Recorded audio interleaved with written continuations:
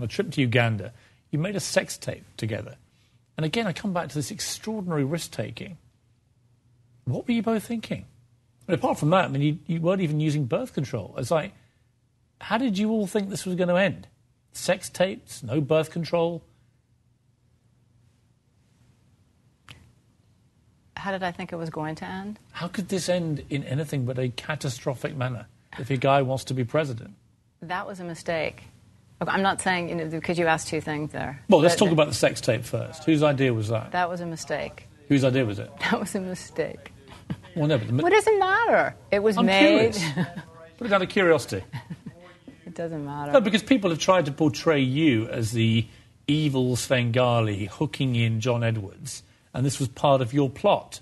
You know, get a sex tape, get it leaked, turn yourself into the Kim Kardashian of yes, politics. that's not true.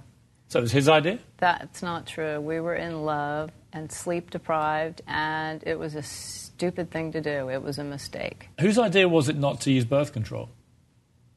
Um, we are both adults. We didn't use birth control. Why? We were in love. What's that got to do with it?